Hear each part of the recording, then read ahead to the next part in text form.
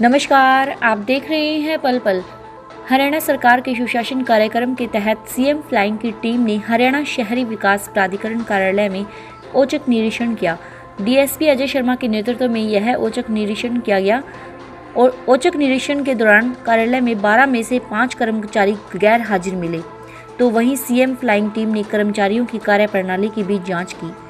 DSP Ajay Sharma ने बताया कि हरियाणा शहरी विकास प्राधिकरण कार्यालय में आज औचक निरीक्षण किया गया है और कर्मचारियों की कार्यशैली की भी जाँच की गई है और रिपोर्ट तैयार कर उच्च अधिकारियों को भेजी जाएगी। और इसी के साथ देखते रहिए पल पल की ये विशेष रिपोर्ट।